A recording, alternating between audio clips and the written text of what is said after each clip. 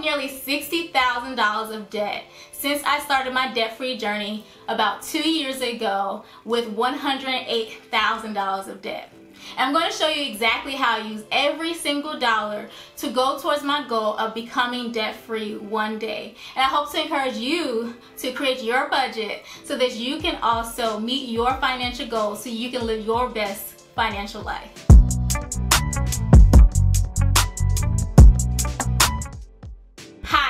Shane of the Wealth Vibe and I create videos to help you eliminate debt, grow your income, and build wealth. I'm going to walk you step by step through my November budget using my real numbers as a millennial who doesn't make a lot of money currently so that you can see how I'm getting closer to my goal of becoming debt free. And I hope that you will pull out your own spreadsheets or your pen and paper or whatever you use to budget so that we can both get in control of our income so that we are able to meet our financial goals and live our best financial life. So if you're ready to get started, I'm gonna get started right now. The first thing I do when I'm creating my budget for the month is plan out the income that I expect to receive throughout the month. And so for this month, I plan to receive income through four different sources. Two of those sources are through me being an employee, and then the last two sources are through self-income or self-employed income. And so the first two employee type of income come from me being an adjunct professor. So as you may know, I teach at two different universities. And so from one of the universities, I get paid on a bi-weekly basis. And then the other university pays me on a monthly basis. So I get paid on the last business day of the month. Then my self-employment sources of income are through YouTube. So through your generosity, I'm able to bring in money through YouTube. So every time you watch my videos, I'm able to earn some money. And that money goes a long way towards helping me meet my financial goals. And then the other self-employment source of income that I have is through Instacart. So typically whenever someone uses my referral bonus to sign up as an Instacart shopper, once they complete a few batches, then they're able to not only earn themselves a bonus, but also earn me a bonus. And I've actually been seeing bonuses upwards to $2,000 recently. But I do know that I'll be paid out a bonus for this week actually that will be $500 so I'm bringing in my income through those four different sources. So my total income for the month is $2,267 after taxes. So that's after accounting for the taxes that I need to pay through my self-employment sources of income if you're wondering what spreadsheet I am using to create my budget, you can actually get your hands on this same spreadsheet because I created this spreadsheet and it's available for you to have. And so I use this spreadsheet and the great thing about it is that it not only tallies my income but also accounts for my self-employment income and so I'm able to figure out how much money I need to be saving and then how much money I have to be able to work with afterwards. So if you're interested in using this same spreadsheet to do your budget, you can get it now and the link will be in the description box. And also I'll put the link in the comment section as well.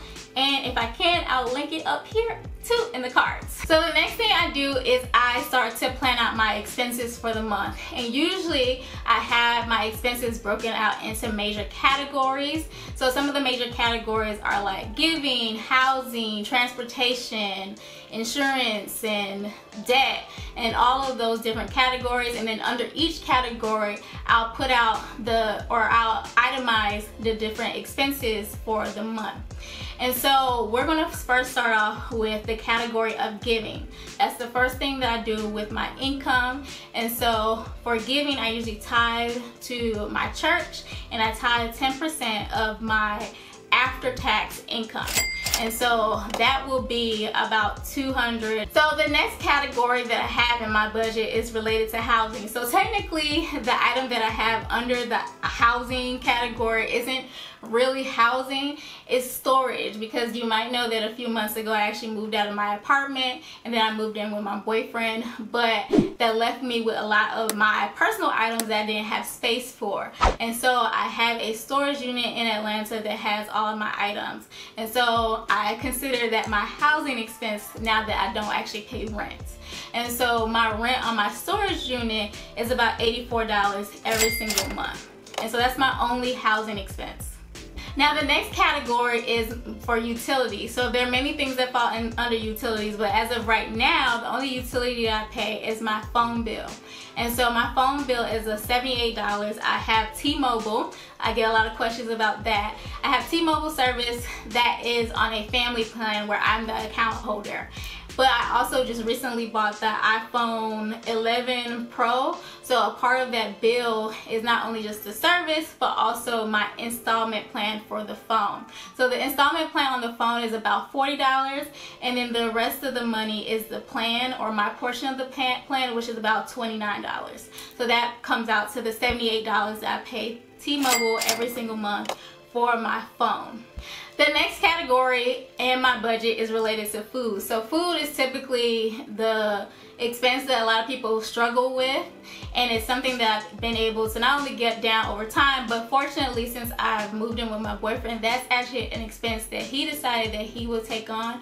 But I do put money into my budget for food because I need to have money for food if I ever you know I'm out and about out of town or if I just want to run into Publix and grab something real quick. I don't want to necessarily rely on waiting on him to, you know, provide me money for that. So I do put money aside in my budget for food and I put about a hundred dollars a month for food and that will for this month I know will cover like I said any runs to the grocery store but also when I go to Atlanta um, in two weeks because I have a job interview in Atlanta and so while I'm there I'm probably going to need to eat because my job interview is around lunchtime and so I know I will be starving but once I leave that job interview and before I hit the road I'm going to need to grab something to eat. So for times like that that's what the $100 for the month is used for anything any type of food purchase that I make. Transportation is the next category in my budget. So for this month, I'm gonna be spending about $250 on transportation and $50 is gonna go towards gas because I don't drive around that much now that I live in Columbus, Georgia. But I do need to account for filling my tank up when I go to Atlanta in a couple weeks. And so that should be sufficient. And then when it comes to maintenance for my car, I'm going to have to spend about $200 on maintenance. And that's just a estimate. And so one of the things that I do in order to figure out how much money I might need to spend on maintenance is I keep all the maintenance receipts from the past. I keep them in the glove compartment of my car and so that way if I've already had a service done and I need to have that similar type of service done again, I'm able to go to the receipts and then estimate how much money I'll have to spend on that. So what I did was um, I looked up how much it would cost for an oil change and then I also need to get the brake fluid change in my car and also my brakes.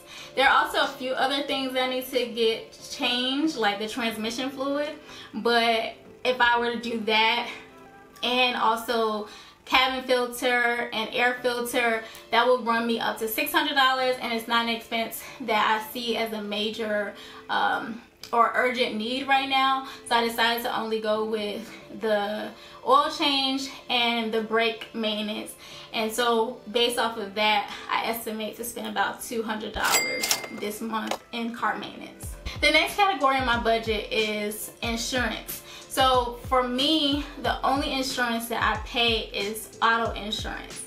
And typically I do pay my insurance um, at the six month mark so that I'm able to pay a large portion of the premium and then able to I'm able to get a discount. And so I actually did just pay my premium in October. And so the money that you see here is actually just the I guess the monthly portion of the six month premium, I put that in a sinking fund so that way when the six month mark comes about, I'm not scrambling and looking for $900. Instead, I have $900 already set aside and earmarked for my auto insurance. And so if you want to learn a little bit more about sinking funds, I have a video here so that you can check them out. And it's a really great tool. It's going to save you a lot of stress and also save you some money too when you really think about it just by having sinking funds in place. And so that's what I do for my auto insurance. So the expenses that fall under the personal category are my toiletries and clothing. Those are the expenses that I plan to pay out for this month. And I can't really say pay out. Some of it is, once again, a sinking fund. So like for my toiletries, I actually don't need any toiletries that I can see right now. I might need to buy some shampoo and conditioner, but we might also be able to get through the whole month. But what I do is I just put about $25 a month in a sinking fund. So if I do need to buy shampoo or whatever else, deodorant, lotion, or whatever I need, I have the money set aside for that. And then for clothing, I don't typically buy clothing, but the weather is changing and there might be a few items that I might need to purchase. Like I already know that I need to buy some wool socks.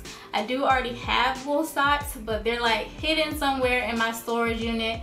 I don't know where they are, and so it's just gonna be a lot easier for me to run up to Sam's Club where I do buy my wool socks. I feel like they have the best wool socks, but anyway.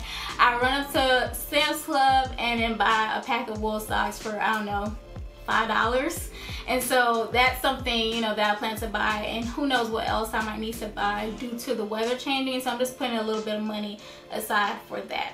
And I also think I want to get a new um, shirt to wear on my interview that I have. I have one shirt but I just want a different kind.